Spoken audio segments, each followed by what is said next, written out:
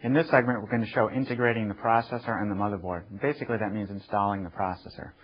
Now, in this example, I'm going to be using a Pentium 4. Now, the Pentium 4 processor that I have here installs in what's called socket 478. The 478 refers to the number of pins in the socket. If you take a look at this motherboard, this is the matching socket 478 motherboard. Um, you can actually see the designation on the socket MPGA 478B, it says there. The MPGA stands for Micro Pin Grid Array. Basically, you're just looking for the 478, and that means it's compatible with this particular processor. Now, these are zero insertion force sockets. In order to install the processor, you have to lift this lever up, which releases a grip on the pins uh, on the chip. Now I'll be able to uh, insert the processor into the socket with no resistance. Now I have the processor over here in my you know boxed processor packaging, which means that it came with the heatsink and, and all of that too. I'm going to remove the processor from the package and I'm going to align it with pin 1 on the socket. Now if you look at the processor, you'll see that there's a dot on the chip. Also on one of the corners is notched and has a little gold triangle on it. That indicates pin 1. On the uh, socket, you can see one of the corners is missing uh, one or two pinholes there, and that also indicates pin 1. Pin 1 on this socket is right here. So I'm going to align the chip, pin 1, with the socket pin 1, and then it should simply insert all the way down. You can kind of, I like to press it down like this as I push the lever down to lock it in place. That means, or that ensures that the processor is firmly seated as the uh, uh, grip, you know, is applied to each of the pins. Now, the processor is basically installed. At this point, we have to install the heatsink.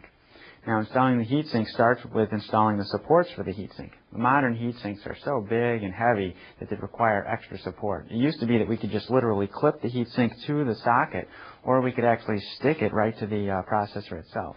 With the big, heavy heatsinks that we have today, that's simply not possible. Now this motherboard came with a heatsink stand like this here. So I'm going to insert this stand into the four holes provided into the motherboard. These, these four pins are going to go into the holes. Then I'm going to push these white prongs uh, uh, down and it's going to expand inside the pins and ensure that this stand will not you know, pop out of the, uh, the motherboard. So to insert it, I simply set it over the uh, four holes. I'm going to have to lift the board up here and use some force to push these four corners down.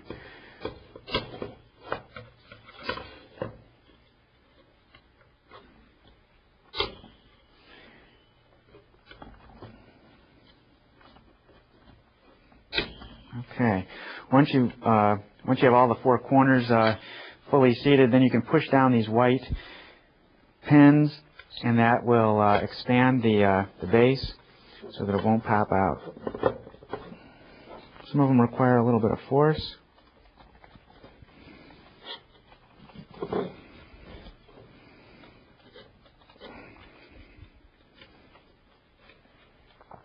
Okay. At this point, the base for the heatsink is now installed in the motherboard. You notice the white plastic push pins which are inserted to prevent the base from walking out of the, the holes. That locks it in place. Now I'm ready to actually insert the heatsink on top of the processor and lock it down with these latches. Now I already mentioned the uh, thermal interface material that is pre-applied to the base of this heatsink.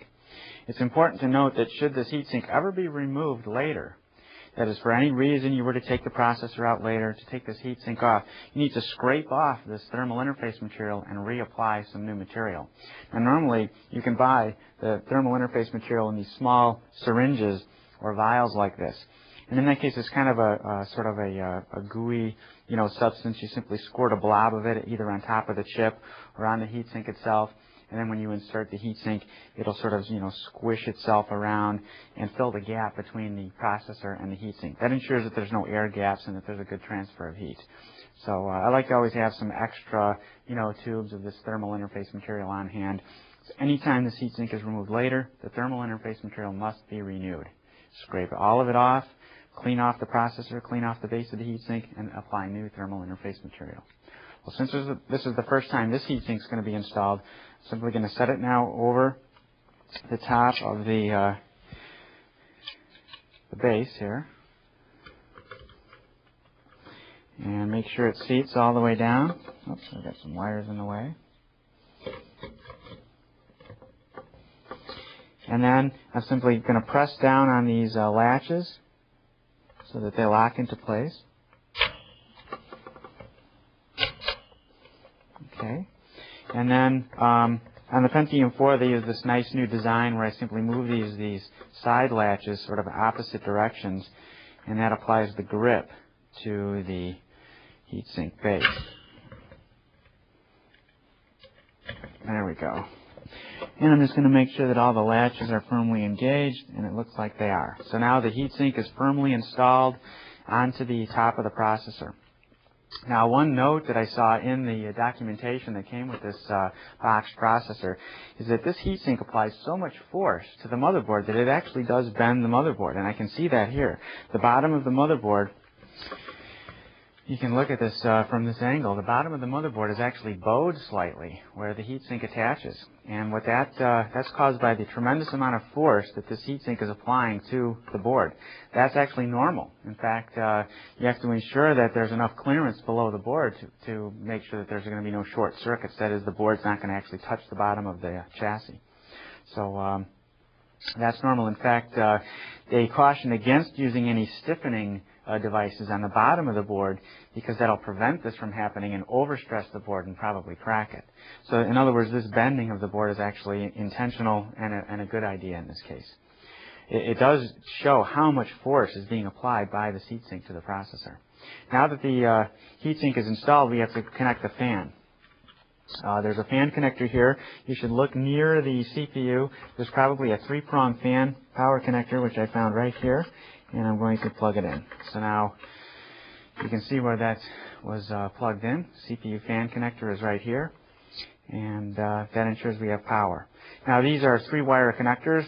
Um, one of the wires is power, one is ground, and the third wire is a tachometer signal, so that this motherboard can actually monitor the fan and know that it's you know rotating at the proper speed. Should the fan ever have a problem in the future, that is it seize up or, uh, or, or the bearings start to bind, um, an alarm can actually go off in the system, you know, alerting you to that fact.